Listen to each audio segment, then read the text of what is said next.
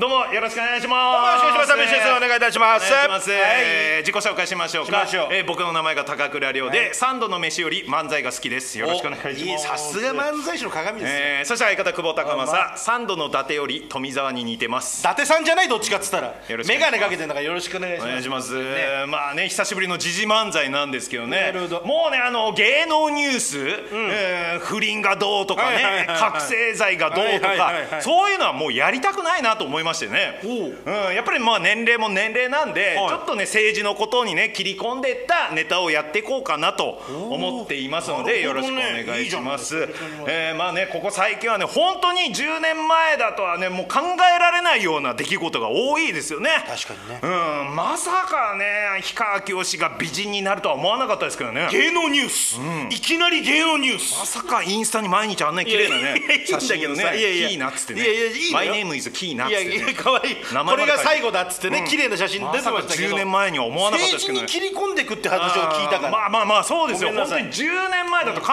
えられなかったですよね、オリックスの優勝。野球、いやち いや違うの。まさかですよね。政治の話をさ。日本シリーズを制するとは思わなかったですよねオリックスはいねんですよ、まあ、でもね、本当に良かったと思います、全部がいい試合で本当に良かった、まあねでも結果ねマスクをつけてなかったってことでオリックスは反則負けになったんですよね。将棋だよそれ、将棋の佐藤九段がな、マスクしないでずっと対局したらマスクしなきゃいけないってルールがあって、反則負けになっちゃったの、ただそもそも将棋の対局中そんな喋んねえからいいんじゃないって話で話題になってるいやあれもね見てないからあれですけど、佐藤九段って喋るタイプの棋士だったかもしれないよ。喋るタイプ、うん。くらえ。俺の気持ちまっすぐに突き進め。鬼殺強者！ジャンプの漫画だよお前よ。これ飛沫するから飛沫するかもしれない。その前に怒られるだろ、でかい声出すなそっちがその気なら、こっちはこうだ。必殺二歩負けだよお前、反則負けだろ2歩はよ。マスクしないとダメなんだよ。自分の歩を2個並べたら反則なんだこうなったら最後の手段だ。必殺ゼログラフィティダメだよそんなことしたらよ。これマスク必要マスクどうこうじゃねえよお前、兄弟喧嘩で負けた時にやるやつだろそれ。これマスク必要だから違うそういうことれで言われてたんでしょ？しょうまあいいですよ、野球なさっきずっと喋ってましたけど、バファローズが優勝したと26年ぶり。あのイチローさんがいた時、で日本一がなんと5回目ということで、えー。まあ5おめでとうござい回目で言うとね三田佳子さんの次男と同じ記録です。何と一緒にしてんだお前。ちょうど並びましたからやめろお前。時期的にももう。次男のね方がね5度目の所持で逮捕ってニュース出てましたけど、えーまあねそれはね10年前からねやりそうだなとは思ってやめろ予想すんのよ想像はつずっと上10年前では考えられないって言って話してんだから、えー6度目もね期待しておりますするなよお前。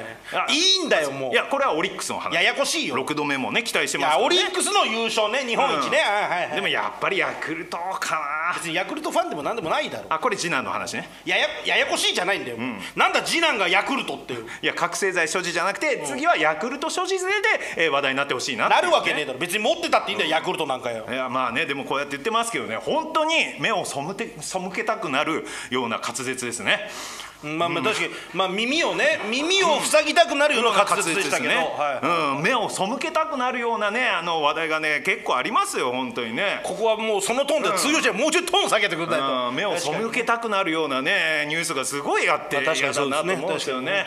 あの同姓同名の田中宏和が178人集まってギネス記録を持ったっていうね。別にいいよ背けなくていいよ。あれは背けたくなるよ。なんとなく明るいニュースだよ、あれは。178人だからまだのんきに笑ってられますよいやこれ。どういうこと？うん、これでねあギネス取れるんだっつって、田中宏和みたいに同姓同名のやつらがもう集まってこうどんどんギネス記録を伸ばしていくんですよ。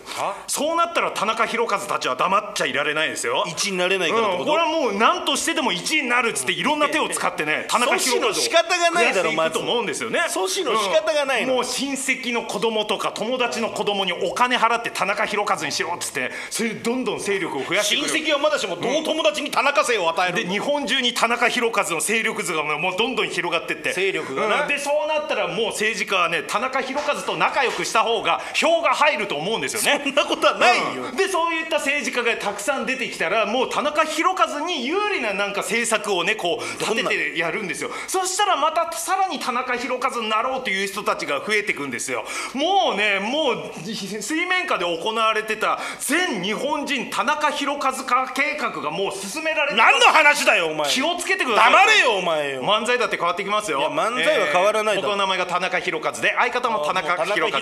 二人合わせて田中宏和です、まあよろしくお願いします。コンビ名も田中宏和でって今日はねたくさんの田中宏和にね見てもらって嬉しいなと思うんですけどね、えーこちらから田中宏和田中宏和。そして山田正宏。田中宏和ちゃうんかい。山田正宏なんてこの世に存在しねえからな。どんな世界なんだよお前。世界線が恐ろしすぎるだろうよ。そういう漫才。いやいやそういう漫才、いや漫才の話はいいのよ。目を背けいやいやたくなる背けないよ。ような。政治に切り込む話どこ行ってまああとエンタメ業界で頼むよ。エンタメ業界で言うとね。思いっきり言っちゃったよエンタメってよ。エンタメ業界で言うと、えーまあ今ね一番注目されてる人いますよね、はいはいなんでしょう。あのー桜井貴弘さん。不倫で注目されてんだよお前。声優の。言わなくていいんだよお前。よ、桜井さんってな「あの鬼滅の刃」の富岡義勇やったりとか、おそ松さんなんかでも声優やったりとかしてな、その人がこう10年間、こう実は結婚してたけ。どそれを黙って他の人と不倫してたっていうのがニュースになったわけな。いや10年間バレなかったってすごいですよね,、まあそこ褒めるとこじゃないんですけど、うん。だって10年間バレないように生活するってかなり全集中してないとダメですよね。いいんだよ別によ、うん、いやもうそれでね鬼滅の刃10年後に分かった時の奥様とか相手の人の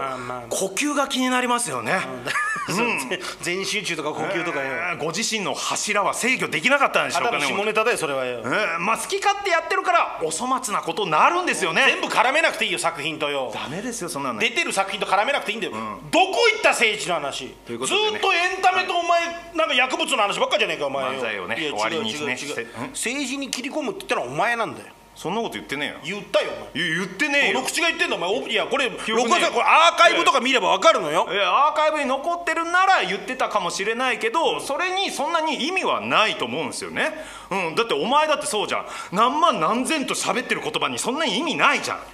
じゃあ言ってないんですか？記憶にないです。いやもうこれ元大臣の山際大臣の話だろ。いい加減にしろ。どうもありがとうございました